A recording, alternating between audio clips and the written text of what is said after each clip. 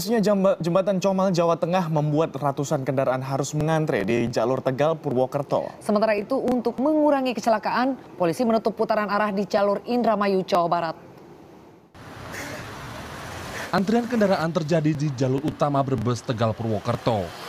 Ratusan kendaraan tak bergerak, memanjang hingga belasan kilometer. Kemacetan yang terjadi dari Sabtu pagi ini sebagai dampak amblasnya jembatan Comal Pemalang. Kemacetan semakin parah karena pertemuan jalur kendaraan yang dialihkan dari jalur Pantura dengan kendaraan yang keluar pintu tol Pejagan Brebes.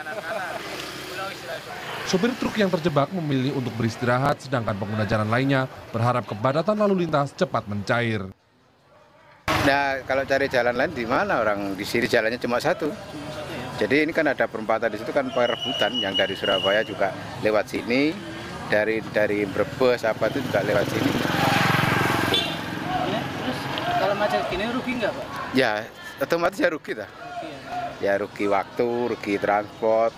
Harusnya kalau dari Jakarta ke Bumi Ayu biasanya mending jam 3 udah jam nyampe 3 paling nyampe. lambat. Iya sore ya. Iya. Sampai sekarang jam satu.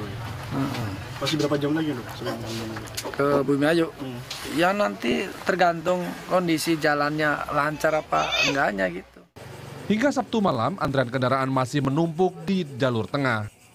Jalur Brebes, Tegal Purwokerto ini merupakan alternatif kendaraan dari dan menuju Semarang setelah amblasnya jembatan Comal Jumat kemarin. Sementara itu dari Indramayu, Jawa Barat, puluhan titik putar arah atau U-turn ditutup permanen. Penutupan ini dilakukan untuk mengurangi jumlah warga yang memanfaatkan putaran ilegal. Selain mengganggu arus lalu lintas, putar arah ilegal ini juga bisa mengakibatkan kecelakaan. Polres Indramayu juga menyiagakan tim pengurai kemacetan di setiap pasar tumpah di Indramayu. kita melakukan penutupan U-turn sebanyak 311 titik dan dijadikan U-turn dari 68 kilo tersebut kita jadikan menjadi 32 U-turn yang akan digunakan nanti pada saat arus mudik dan arus balik.